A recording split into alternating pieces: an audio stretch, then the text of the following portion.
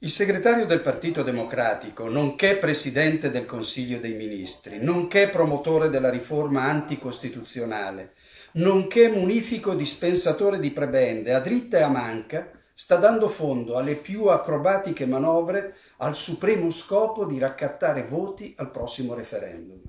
Poco importa che le coperture finanziarie non ci siano, poco importa se l'Unione Europea, rigide custode dei propri dogmi monetaristi, negherà qualsiasi splafonamento del deficit.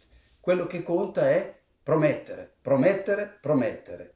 Dare l'impressione, cioè sembrare, non essere. In questo gioco spericolato Renzi è maestro.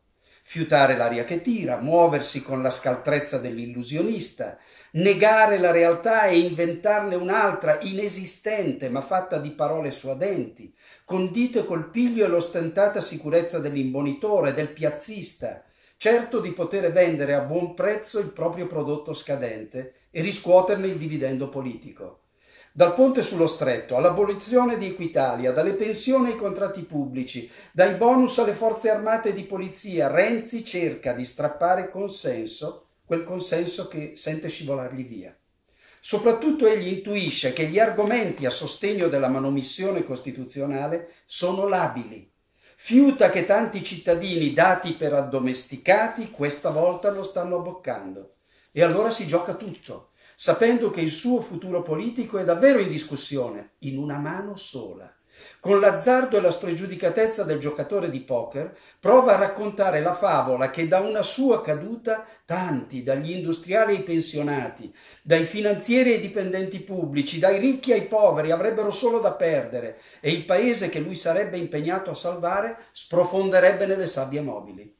Datemi tutto il potere, dal governo al Parlamento, consegnatemi la facoltà di fare e disfare le leggi da solo, toglietemi l'intralcio di dover fare i conti con una ingombrante magistratura indipendente.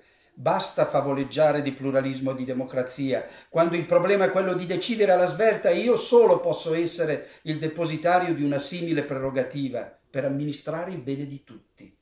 Ecco, se questo Paese avesse sufficiente memoria di sé, e della propria storia non ci sarebbe partita.